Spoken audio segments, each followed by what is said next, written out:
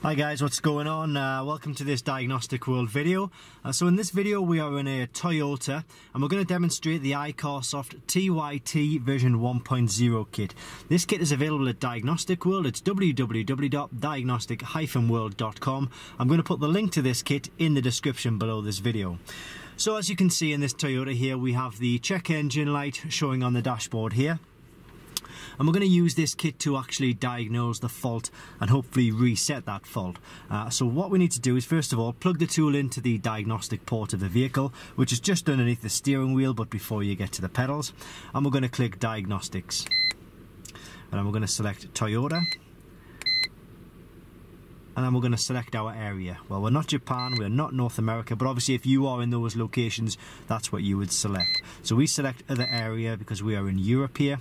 I will click manual, and then we're going to select the option for engine and ECT. It's engine control. So we're going to click on to read fault code memory and it's giving us two faults here so we've got P0351 ignition A primary secondary circuit and then the second one is actually exactly the same However, one of them is a historic fault and one of them is a current fault. So it's giving us uh, both historic and current faults on this kit.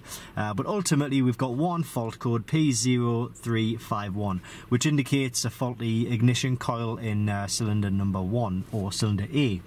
Uh, now what we've already done is we've actually put a new cylinder in this car, uh, sorry a new cylinder, a new ignition coil in this car and uh, what we need to do now is just basically erase the trouble code so we can get rid of the check engine warning light. So I'm going to go ahead and do that now and we click on clear fault memory. Uh, fault code and freeze data information will be erased. Are you sure you wish to continue? Well, we'll want to click OK and when I do that, just keep one eye on the check engine light here. There we go, it's gone off straight away. Erase operation done on screen here and it's uh, a good job, well done. Now obviously you can view live data from the engine as well. Um, there's lots of different uh, avenues and lots of different bits of information that you can actually check.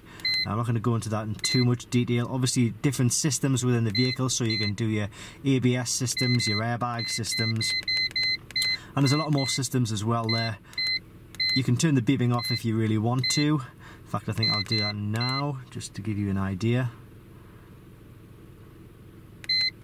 Uh, buzzer off. And there we go so it makes it a, little bit easier to, to work with. But it's a great tool, um, it covers a lot of systems in this vehicle uh, and other vehicles as well.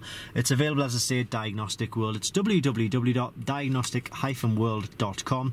I'll put the link to this kit in the description below this video. Thanks for watching and I hope this helps.